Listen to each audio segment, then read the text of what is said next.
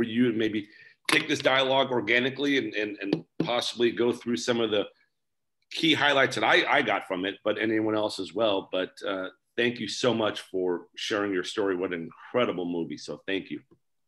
No, thank thank all of you. Thanks so much for having us. Um, it's it's super exciting, and uh, and so thank you all for for taking the time to watch it. Um, truly started as a, a passion project. Uh, you know, my family had gone to Israel many times, and I always just had loved the food so much. Um, and so you know, we thought, you know, why not, uh, you know, why not start a search for uh, you know, for the best food. And it was initially uh, uh, uh, an exercise in finding the best shawarma. But what we found was shawarma was pretty boring. Um, everyone kind of agreed where it came from. You know, you had the different style meats.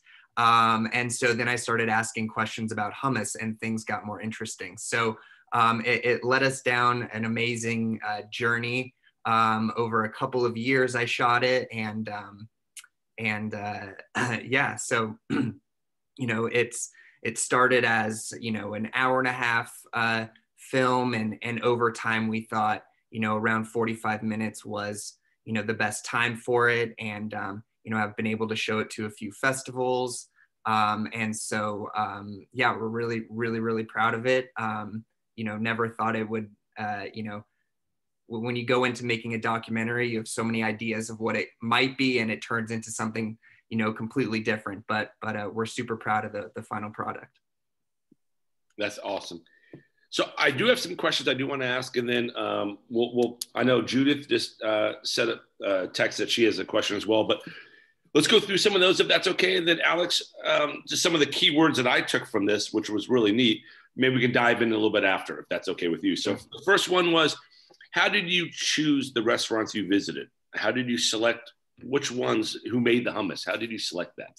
Yeah so it was a variety of ways. First um, you know my personal experience um, of going to places uh, and then friend recommendations people who lived there and um, you know funny enough everyone has their favorite hummus spot so um, you know we got a lot of suggestions and then when i was there i hired um, local people in each city um, to to not only pick their brain about the best spots, but also um, they would go to the the restaurant the day before and kind of talk to them and explain what we were doing and see if they'd be open to it. You know, that way they weren't surprised with you know a bunch of cameras sort of you know bombarding their restaurant. So that worked out really well, and only a couple places didn't want us to film.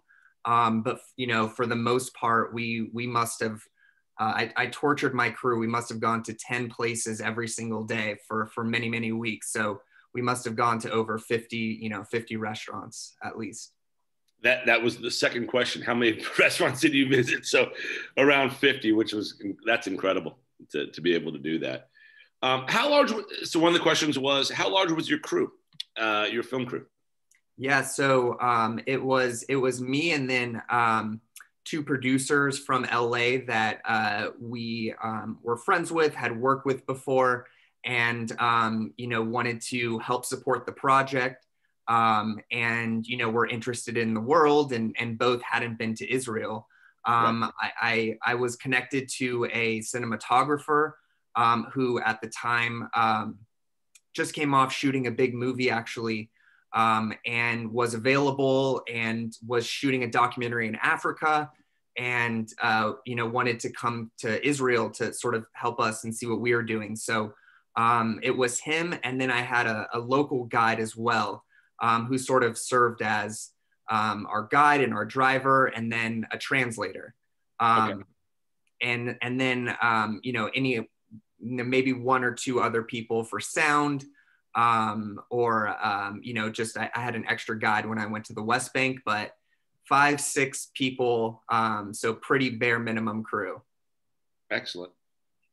So what is it um, you look for in great tasting hummus? I mean if there was one thing that you're just looking for is there anything that just resonates? Um, you know there it's such a variety um, cold hot plain yep. Uh, with meats vegetables um, you know i like it spicy um, but you know i i certainly um, thought i knew a lot going in but but i learned i learned a whole lot you know in the different styles and, and traditions Um, you know, you can definitely tell when it's handmade versus machine made.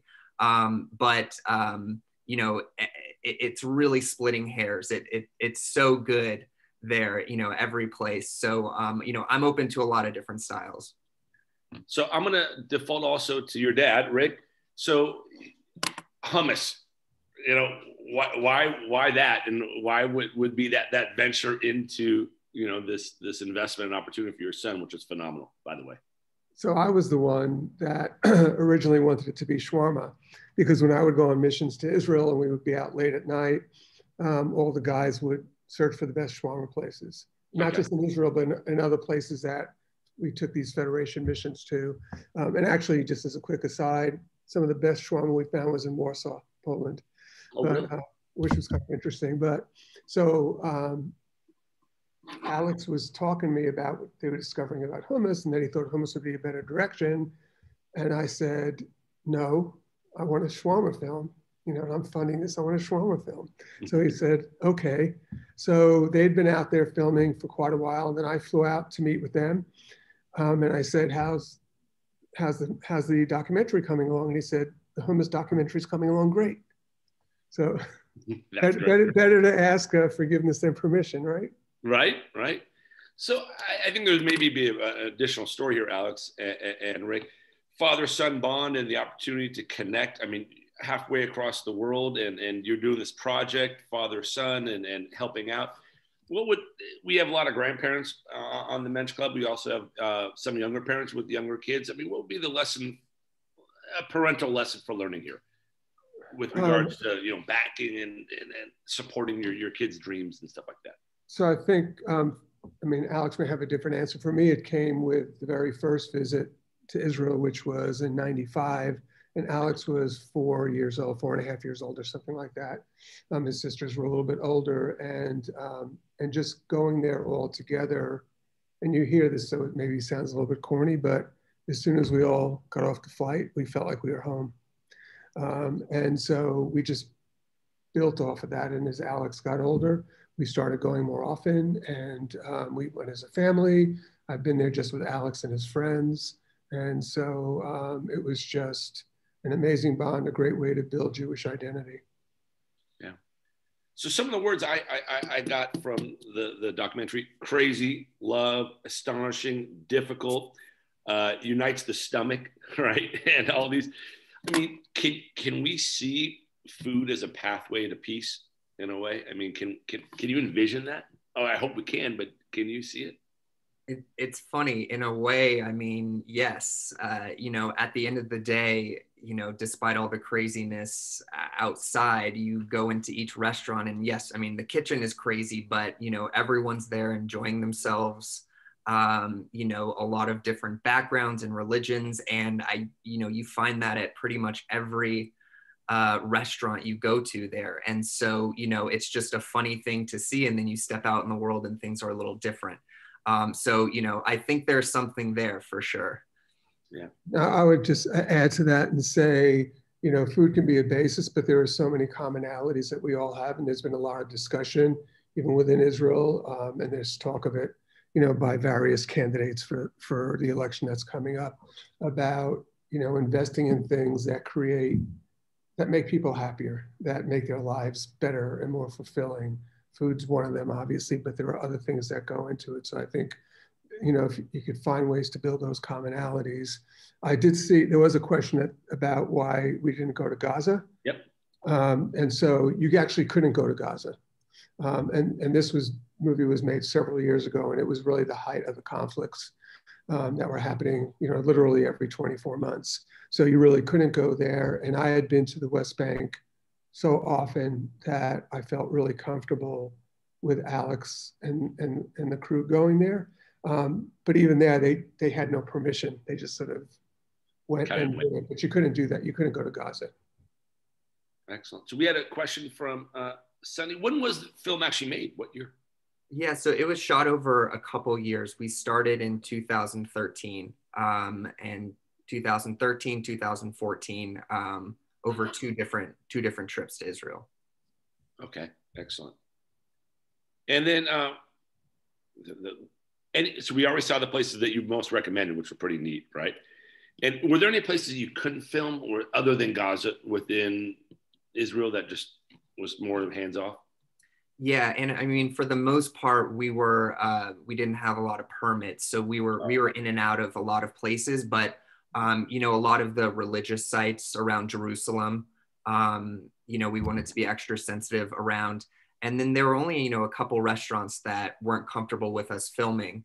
Um, other than that, everyone was in- incredibly gracious and um, you know very very welcoming. So it was you know it was great, but it also helped uh, you know, to have sort of local scouts go ahead of time and sort of check it out and make sure they'd be okay with it. Um, right. So it was a good experience overall. Excellent. And a question just came up: Any hostility because you're you're Jewish with regards to this project? You know, certainly, you know, a, a little bit. Once you know, I started asking some of the hard questions. Um, you know people uh, would realize that I was trying to dig a little deeper than just you know what you know how you make your hummus. Right. Um, but um, you know, really everyone was was so honest Whoa. and upfront with me um, that uh, you know I, I, I didn't really have you know any incredibly uh, disrespectful or um, uncomfortable you know conversations. Um, it was you know everyone was very welcoming, thankfully. Excellent. And then uh, Bernice just asked a question. Can we still see the movie? How can we see it? Yeah, uh, definitely. I have a. I, I can share the uh, the link to the to Vimeo on it, and it's just password protected. So I'm, I'm happy to to send that along. That'd be great. Thank you. So obviously this portends to something else. What, what do you guys? What's next for you both? I mean, this was incredible, uh, really neat. Um, but where do you envision taking this? falafel sequel anybody um no you know honestly it, it it started really as a as a passion project and you know grew to something so much bigger and um you know i think we're so lucky to to be able to show it to events like this and you know a lot of film festivals um and so you know we're still talking to people about you know uh, potentially the best place for this and you know there's a lot of um, you know, new streamers out there and, and kind of food centric places. So, um, you know, uh, so, you know, we're still having those discussions, but, um, you know, filmmaking, I'm, I sort of, in my career, I moved more towards the production side. Um, but, you know, I always have, have the itch, uh, you know, in the back of my head. So maybe, maybe one day, uh, you know, we'll get back to, uh, to another documentary. Would it be fair to say that, and I'm just pulling this up, um, that you're a little ahead of your time because if you look at I know Netflix, right? Um, and I believe it's Chef's Table. I mean, they, they tell a story, and you you were eight years ahead of them telling a story uh, about their cooking and, and how it brings people together, and and you did that way before anyone else did. It's pretty incredible. Yeah, it, it's funny. It's incredibly popular now. Uh, Netflix is doing a great job among a lot of places that that sort of look at niche food around the world and the people behind it. Um, so you, maybe maybe we should be thinking about a sequel right right now. I think you should. You you're way ahead of your time. And Rick, Dad, it would probably be a good investment for you. You know, just thinking financially, of course, but. Uh, but at the end of the day, I think it was really neat. I mean, you, you're you're ahead of your time. You're eight years ahead. You know, nine, seven, eight years ahead of anyone else that was doing this. Pretty pretty incredible. Um, so we uh, Tom Rosenberg wants to get a direct link to it, um, so we can show to kids and family. Um, and uh, I'm going to go ahead and unmute. Well, anyone can unmute if they want. So anyone else that has any questions? Oh, Frankie does. Binky, go ahead, buddy. Um, okay, so we've got the Israeli restaurants. How about local, especially for the hummus and also the shawarma? Have we got any places in LA? Yeah, so uh, there are a couple. I actually just went to, uh, um, that, so there's a place in West Hollywood called Taeem, T A E E M, um, Israeli owned and operated.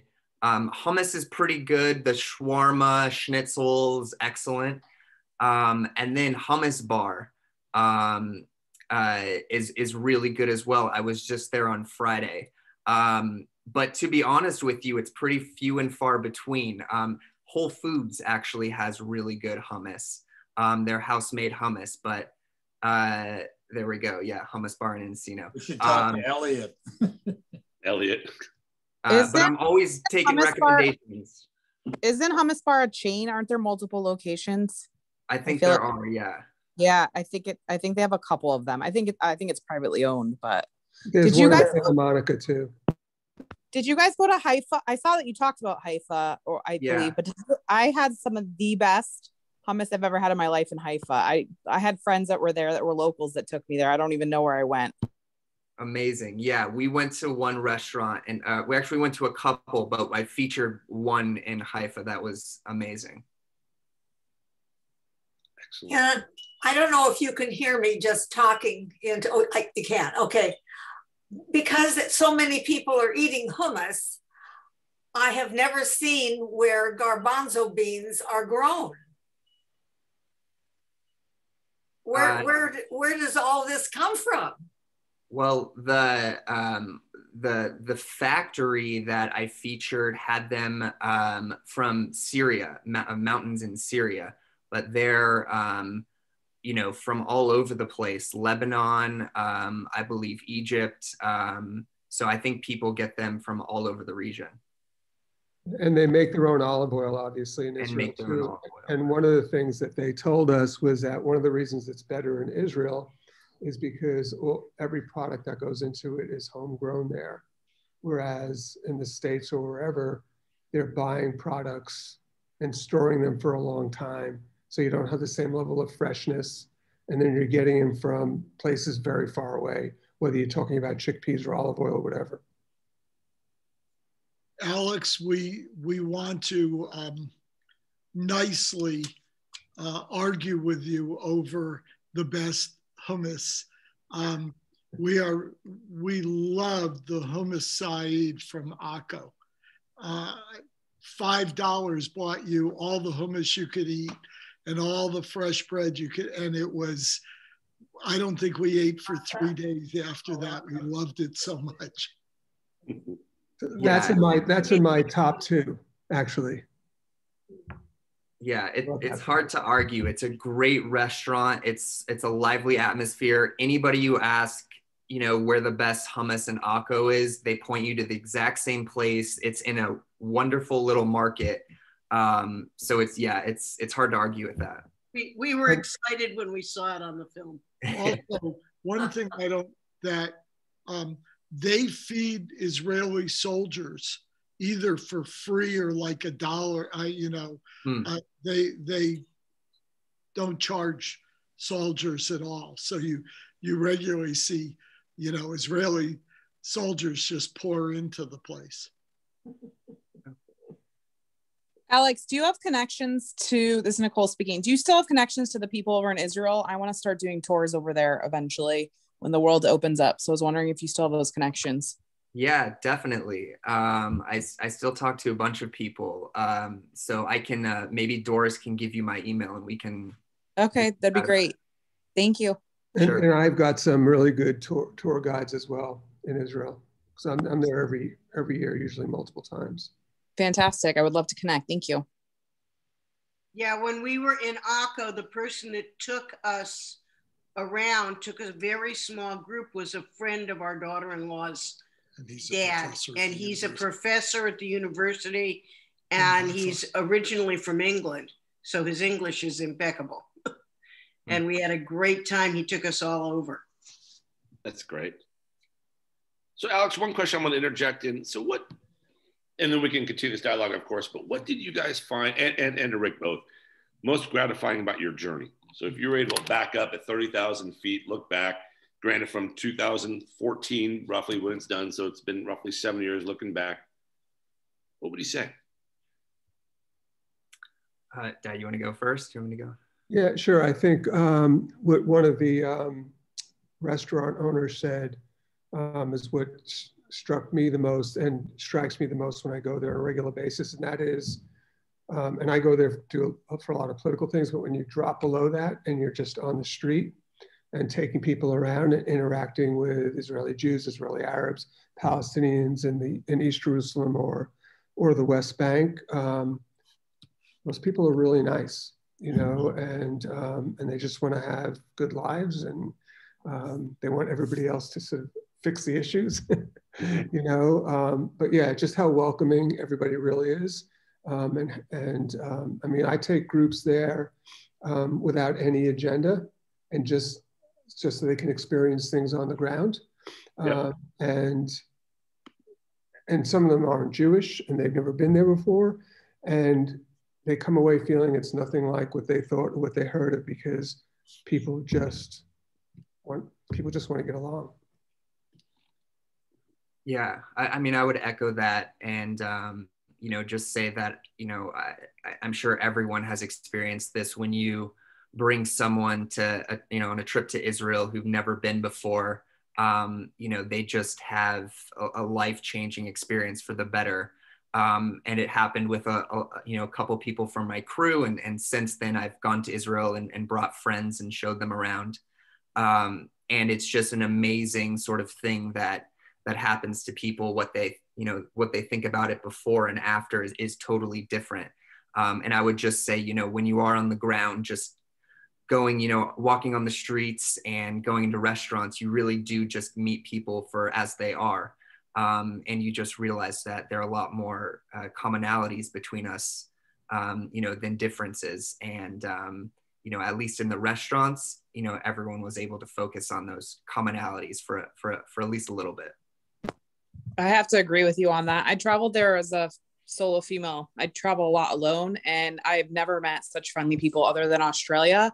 So I hmm. unfortunately the media paints a picture of Israel and the Gaza and all that. And yes, there is bombings and stuff and you have to be careful, but it's such a friendly country and everybody just wants to welcome you.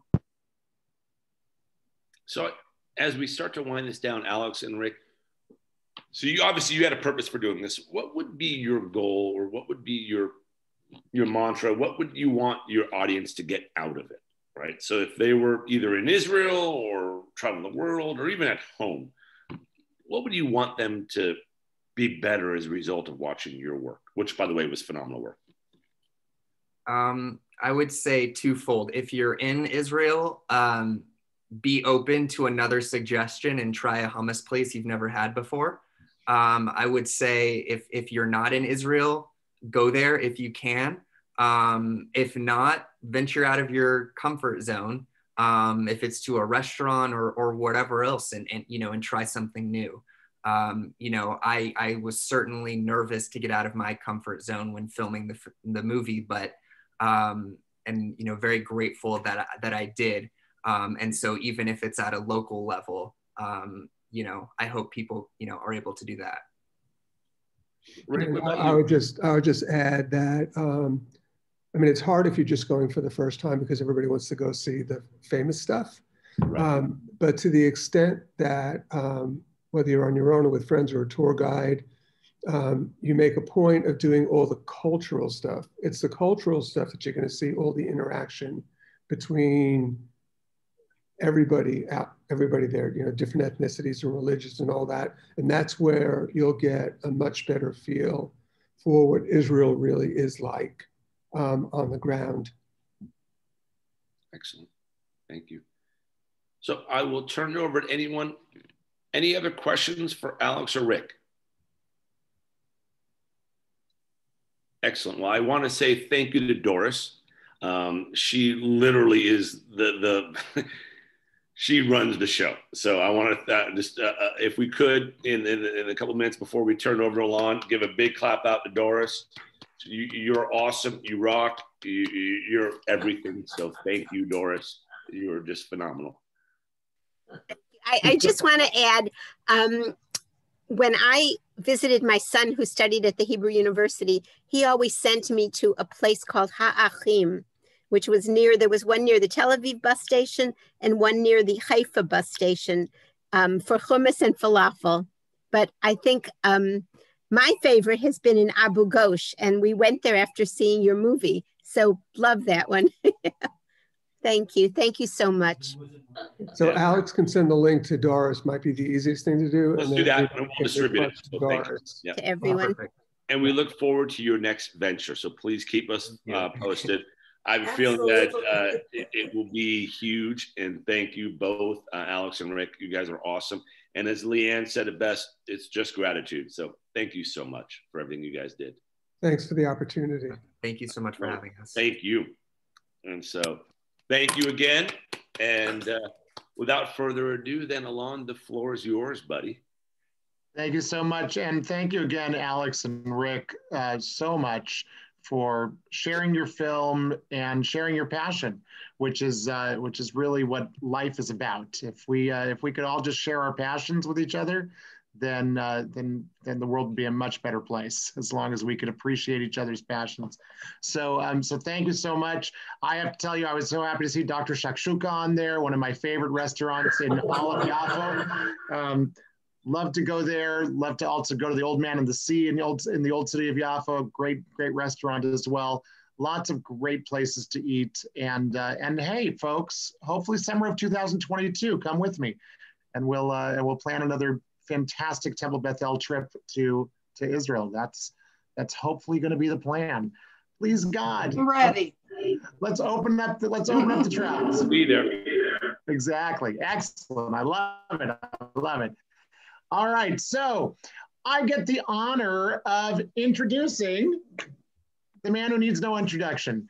And um, when we started talking about this program uh, on in the in the Mensch Club committee, you know, every program that we do, we also make sure that we spotlight uh, one of our Mensch Club members as kind of a, a journey story.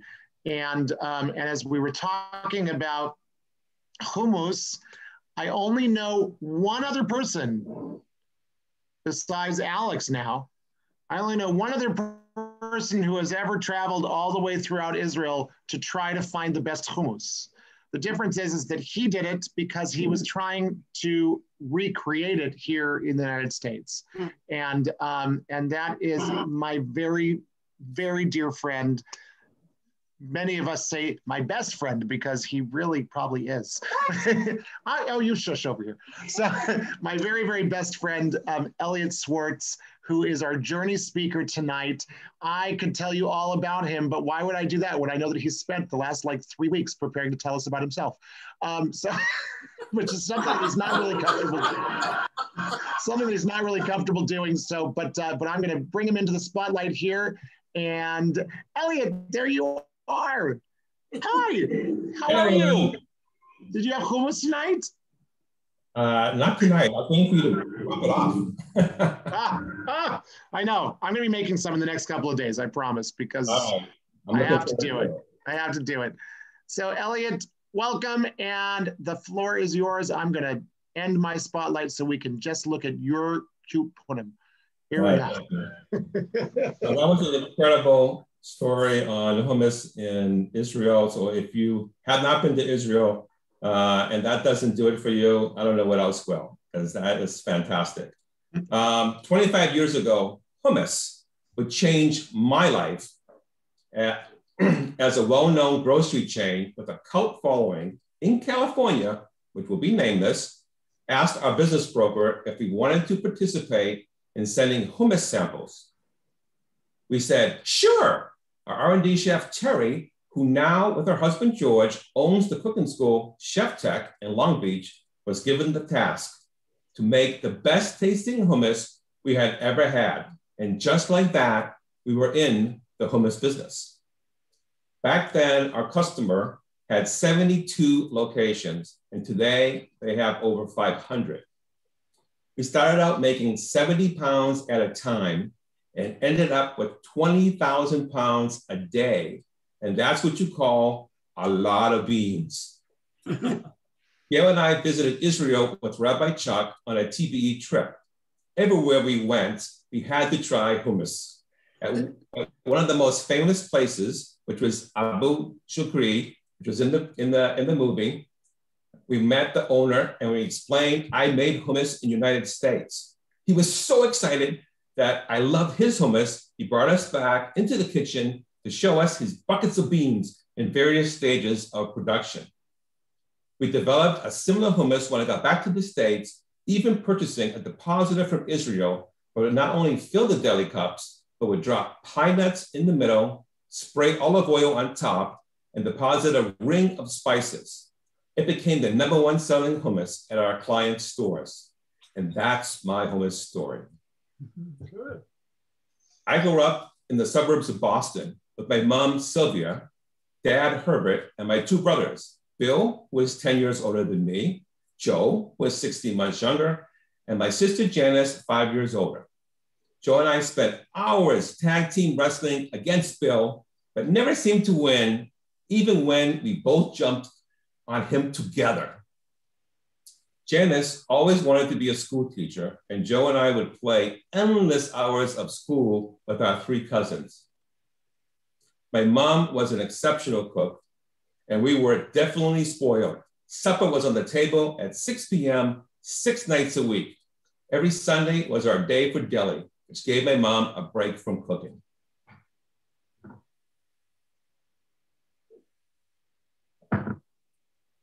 My love for food came from the great dishes my mom prepared, but my passion for cooking came from my dad. My dad was also an amazing drummer, and he had a band for many years before I was born. He gave up the band and went to work for his dad in the floor sanding business, which he didn't like very much. Part time, he would work at delis, and he loved it. His dream became a reality when he opened a luncheonette with 30 stools in downtown Boston. That's when I had my first experience at the age of 12 to cook on the weekends at the Checker Smoker, a name because the other side of the business was a smoke shop. I learned to cook short order and we waited on customers, which resulted in some handsome tips from my regulars. This was my calling, my dad said. Soon I was taking a bus, a trolley, and a train to business to the business after school. I would get my homework done and then work until closing. Sometimes my sister and mom would join us. Eventually, we changed locations and the name became Checkerboard Deli.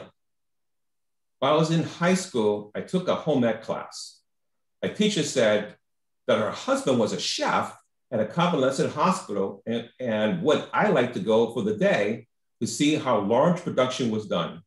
It was amazing. She asked me, What are you going to do when you graduate? And have you given any thought to go into chef school? What? Chef school? There's a school for chefs? No way. Actually, there were two schools in the entire country. My dad had, and I visited both schools, but I knew it had to be the Culinary Institute of America in Hyde Park, New York. I was accepted and couldn't wait to start. My mom had been ill. She had what was called the big C, cancer. I don't remember using that word much. We all knew it wasn't good. She had taken a turn for the worse. I decided I couldn't leave and would put off school. I notified the school that I would contact them when I could start. It wasn't too much time after that, the phone rang. And the person on the other end from the hospital told my 16 year old brother Joe that my mom had died.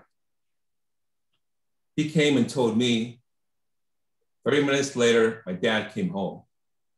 And I needed to do what to this day was one of the hardest things I've ever done and tell my dad and my mom had passed away.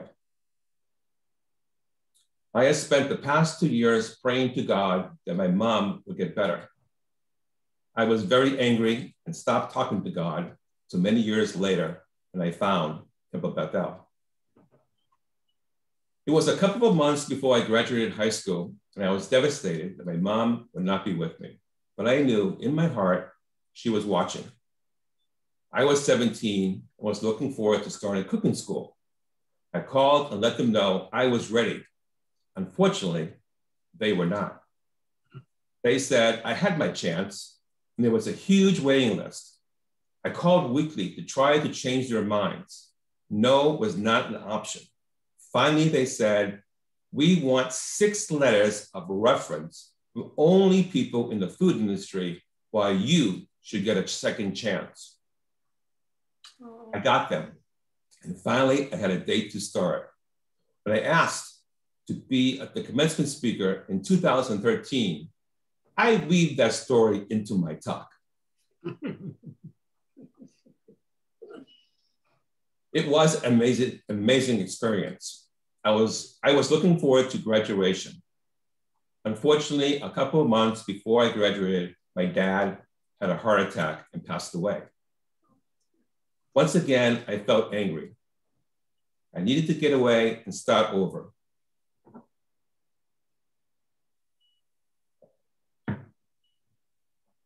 I, I had been seeing a fellow student that later I would marry. But first, Lori would go to Atlanta to work, and I decided to head to California with two classmates who had jobs at the 94th Aero Squadron in Torrance, who said, Come along, I am sure we can get you a job too. I had $1,400 to my name, which I received selling my car. So off to LA we went, me with no car and very little money. I became the sous chef. During the next few years, I would work for various restaurants, including the Playboy Club, which was a fun job, which I cooked for many celebrities. I worked at Rive Gauche and Mountain Cove with Mr. Wonderful Grant Perry. Tally Ho and Cerritos was my first opportunity to be the executive chef with all the responsibilities that go with the title. I asked Lori if she wanted to come from L to LA from Atlanta, but she was doing very well and live with me and be my sous chef. She was all for coming to LA and starting a life together, but didn't know if she wanted to work for me. I said, it's both or nothing. And she said, okay, let's do it. I later ended up going back to Rive Gauche, and Lori took various positions. Neither of us were all that happy at work, and Lori's parents told us they would buy us a house if we moved to Chicago.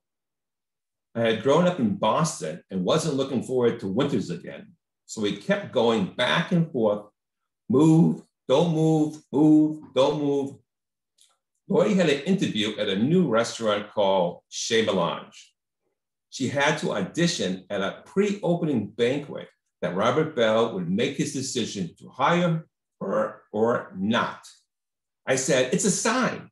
If you get the job, we stay. If not, we buy ice scrapers and go to Chicago. She started as sous chef and making desserts. Desserts became very popular and she couldn't do both positions. Robert asked Lori to ask me if I would be interested in working as his sous chef. I interviewed and immediately got the job. The restaurant was a huge success with long, a long wait every day of the week. Eventually, Robin and Michael asked us if we wanted to open a bakery together. We would work for sweat equity. They would front the cash. Unfortunately, they were cash poor as the restaurant was growing growing, this went on for three years. I told Lori we need to start our own business. Lori never wanted to start a business, but agreed. If we first could go to Europe to educate ourselves what we learned at school and taste the food and desserts from where they were first created. We went for four months in 11 countries, spending almost all of our money on eating and very little as possible on pensions. When we returned home, I went back to work at Chez Melange, where Lori started two chefs on a roll, making desserts for restaurants.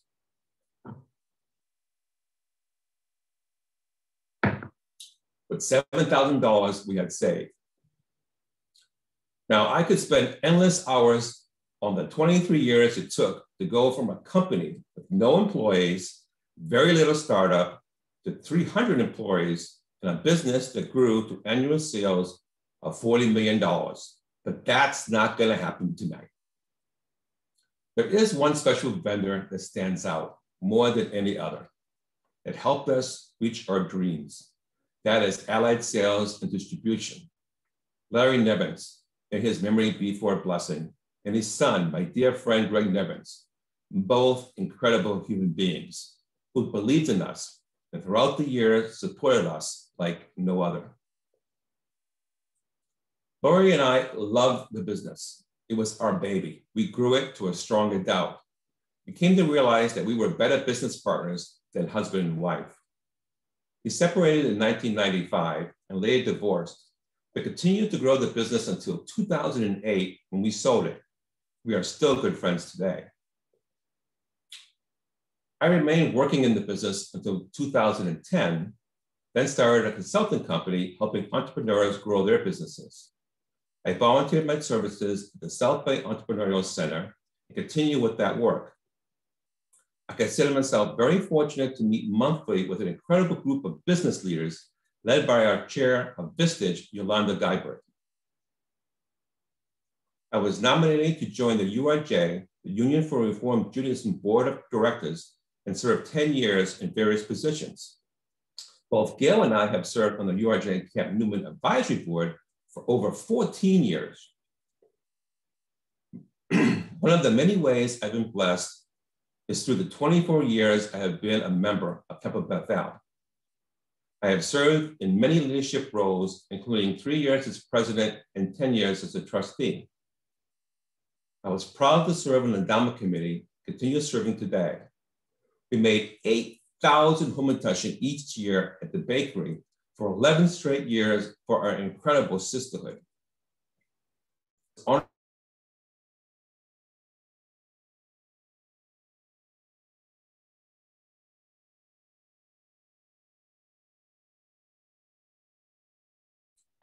the many.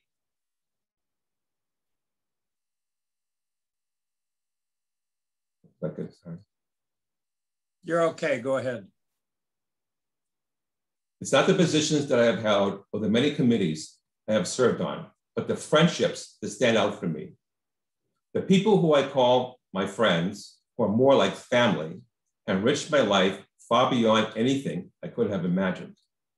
When I walked through those temple doors on a quest to convince a woman I barely knew who was singing in the choir to go out with me one more time, you see, in 1997, my life would change for the better as I met the woman that I would fall in love with and eventually marry and have a life filled with family, friends, and lots of love.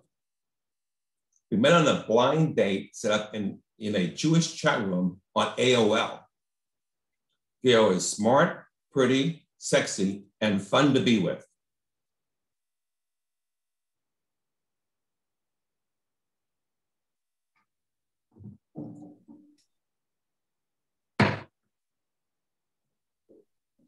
We instantly felt a strong chemistry, and it has only grown throughout these years. I don't know where I would be if we hadn't met. The joy of our daughter, Rebecca, who I adopted, and BJ, who I love like a son. Family has always been important to me, but I had lost hope that I would someday be a dad. I am so very proud of Rebecca and BJ. They both have chosen incredible people to share their lives with. Erica and BJ recently purchased their first home, and our grandchildren, Dahlia and Joel, give us so much pleasure spoiling them whenever we can. Rebecca and Oscar will be married later this year. They're working towards building their careers and hopefully some grandchildren in the near future. There are so many people and stories who have made my life so much better, we could be here for many more hours. They know who they are, and I want you to know I love each of you and look forward to creating new stories and memories. I want to tell you of just one more story that made a huge difference in my life. Many years ago, Lori and I, Lori had a friend who had leukemia in high school. Joan was in remission and wanted to be an actress she asked us if she could come to Chicago and work and live with us while she got on her feet. We agreed. Joe stayed with us for quite a while. During that time, she shared she would like to volunteer at a hospital and give back all she had received. Joan never got that chance as she passed away at the age of 32. In her honor, I decided to volunteer at Torrance Memorial for a year. That turned into 10 years in the ER. where I met one of my most dearest friends, Jody, who was also a volunteer. We would go out for dinner after our shift and just spend time talking about life. She was always trying to gain weight, and I was always trying to lose weight. Gail and I had the opportunity to put a Alon and Jody together on a blind double date. And Jordan, Jordan and Zoe have never stopped saying, blame Elliot. I love the Davidson family and wish Jordan a very happy 18th birthday today.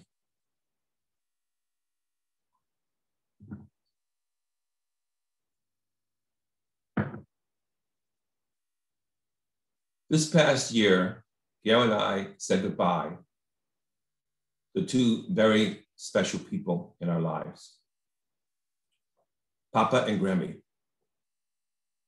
Gail's parents always treated me like a son. I loved them dearly. During this time when we were not able to hug and hold them, it fills my heart to know my parents are with them now, and they were surely hugged, held, and loved. Someday we will all be together. Thank you. Gail has helped me to put together a few pictures of my life, and I'd like to share that with you.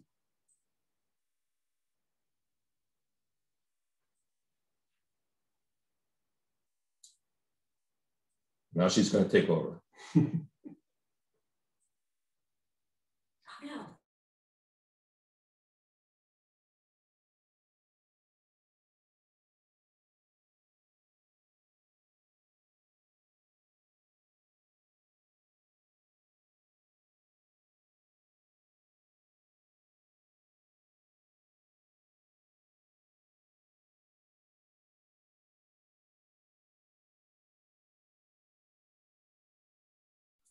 Okay, she's working on it. It worked before.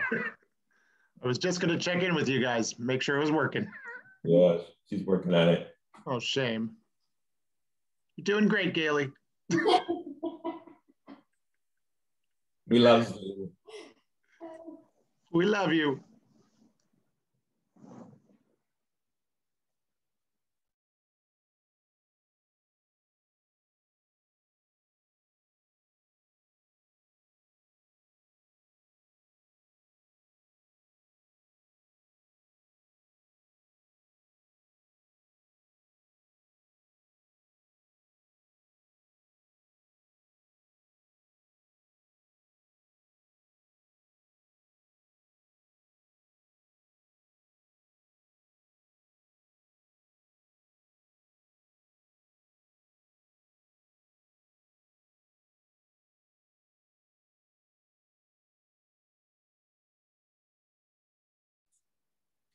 Just so you know, there's supposed to be music with this, but now I can talk.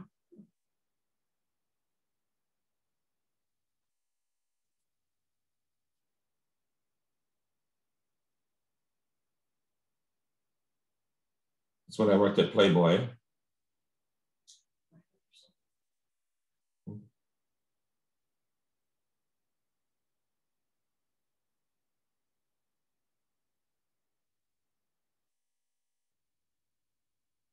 That's a big muscle. Time to sleep. My sister and I, the World Series. Can you believe how long ago I got Player of the Month?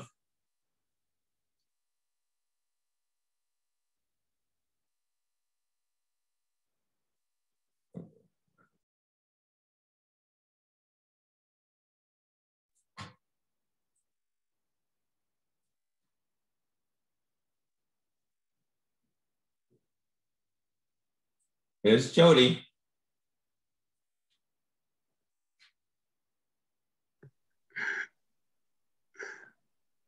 I'm glad it froze there. You look great, babe. By the way, Elliot, the music is playing. Oh, it is? Yeah. It was, yeah. Okay, I didn't know that. We don't have it over here. Maybe you should sing for everyone. Yeah, I think that will close the night when I start singing. Uh, Okay, let's go try. there you go. Good. Oh, Grammy.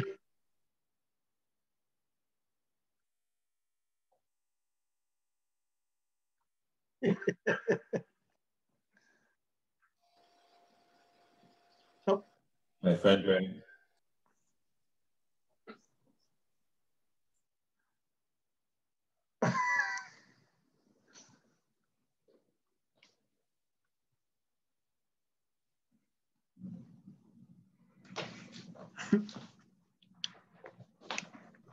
I loved your dad at the top hat, so it's kind of fun. It's frozen on the hat.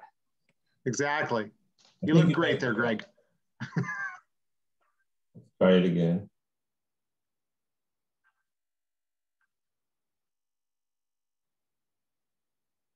Ray.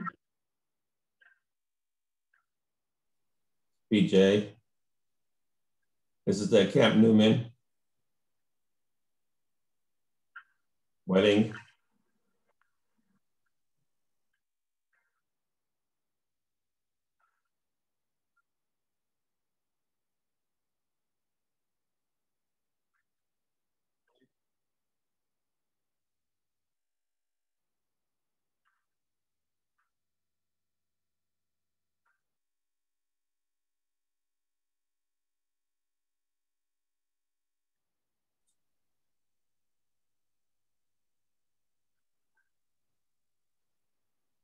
Cousin Mitch.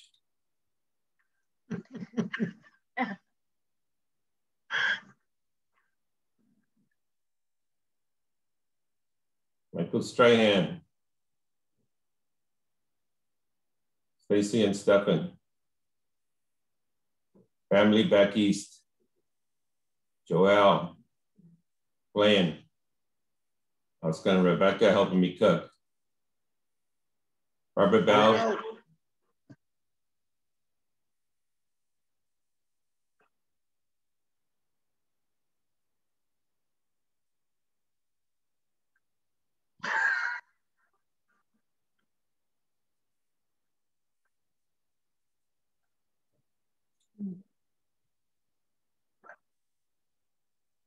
my talk at the school. Okay, that was it. We Oh, got my any questions? Where are the golf pictures? Uh, I don't show it until I get better. Yeah. When's dessert, Elliot? Yeah. Come on over. All right, we're on our way. Well, if there's if there's no other questions for Elliot, I just want to say, you know, um, uh, it's it's funny because you noticed earlier when I was introducing Elliot that like introducing him as my best friend is a very strange thing because there's the family that you're born into, and there's the family that you adopt into your lives. And Elliot is not my best friend; he's my brother, and um, and uh, as you can see, our families are very intermingled. And uh, when when we talk about family get-togethers, it's it's always a combo deal. So the Swartzes and the Davidsons and the extended families on both sides, and uh, and Elliot, your life is so amazing, and um, and and it is evident in everything that you do that everything about your life is about your heart and um, and your heart is one of the most generous one of the most loving and one of the most fun hearts that i know in my life and that many of us know in our lives and um, went to randolph high school gail says all right Can I say something? what was that? I want to know if I can thank Doris for uh, asking at a lunch club. I think I'm going to join. I had such a great, I had such a great time. I think uh, you're outdoing the sisterhood. Well, you're all Oh, welcome. now Elaine, Elaine, this is not a competition. Let's Not not, a go there. competition, but we will talk about other No, I- events coming up in a minute. It's not a competition. Anyways, I do want to, I just want to thank, I want to thank Elliot so much for sharing about yourself. Um, I still remember very clearly that trip to Israel when you came back and said, I think I got it. I think I got the best hummus recipe that, that, that I can possibly make. I'm going to work on it right away. And then you came over and you're like, taste this. How does this taste? Does it taste like home?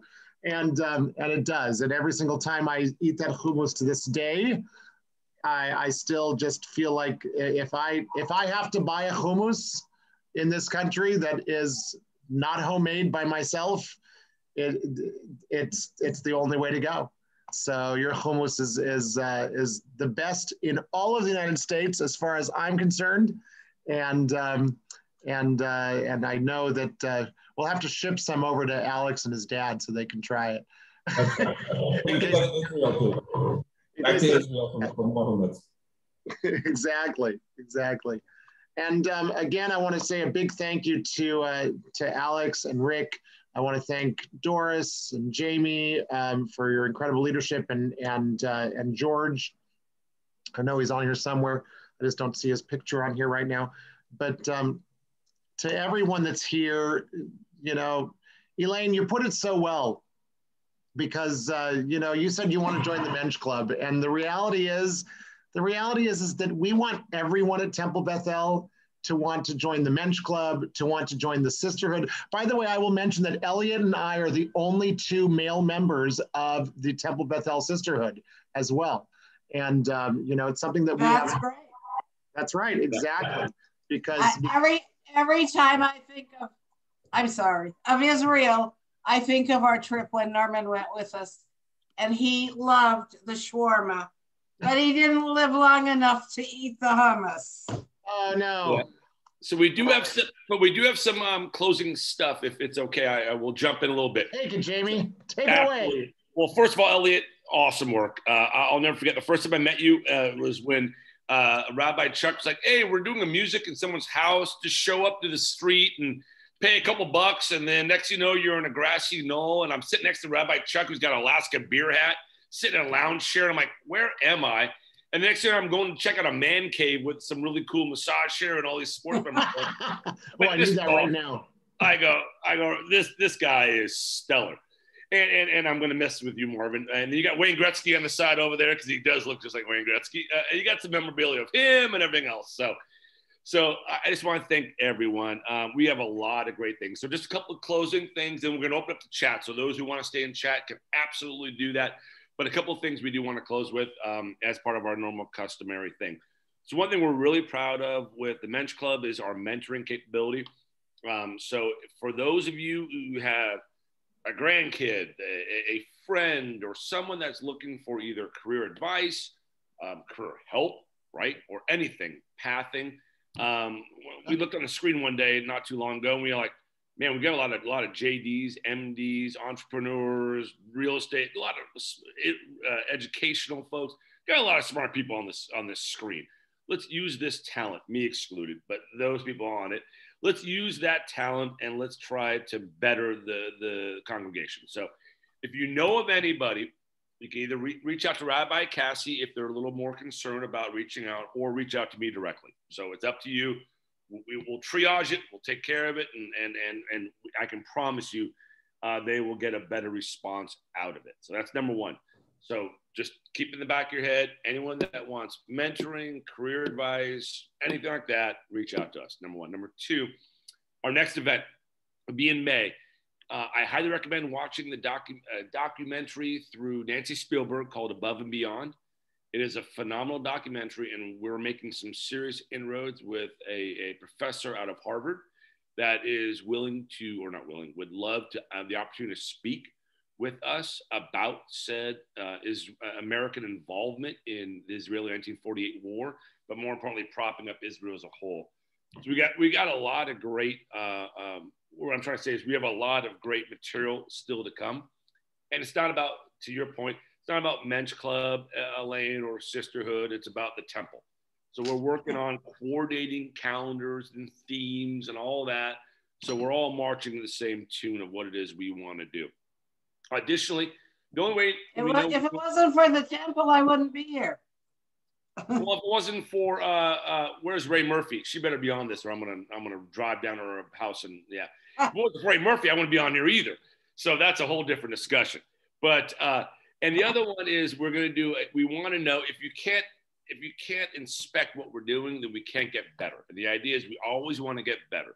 So after this uh, Mensch club tonight, you will get a survey. Please let us know. It's real easy. It's not too. It's not Survey Monkey. It's real easy to just reply back. What do you like and what do you want to see better as a result of what we're trying to do? Because we're only going to get better by by hearing your voices and what we can do better and differently, knowing that hey, we're all in this together. And so, what does that look like today, and what will that look like tomorrow? Uh, and so the men will get the survey, and then after that, uh, we'll distribute it accordingly. But um, the idea is we definitely want to hear your voices. What can we do better? Um, so, again, just to reiterate, we got a really good mentoring program. It's in the infancy stage. It's going to get legs, and we'll all be proud of the work that we do. That's number one. Number two, the content we're trying to deliver both on Zoom and ultimately one day in person, thank God, uh, will be phenomenal as well. Completely inclusive of everybody on the screen and anyone we know is absolutely invited to it. And then lastly, um, how are we doing and what we do better. So without further ado, Doris, I'm going to turn over to you with regards to breaking up into groups. And uh, I just want to thank everybody. And uh, again, Alex and Rick and uh, Elliot and Gail uh, for all the work you guys have done. It's a team effort. Elliot, you're awesome. Gail, you're awesome. Uh, Alon, you're not too shabby yourself either. And, uh, and, and thank you all for just a, a great evening. So Doris, without further ado, it's you.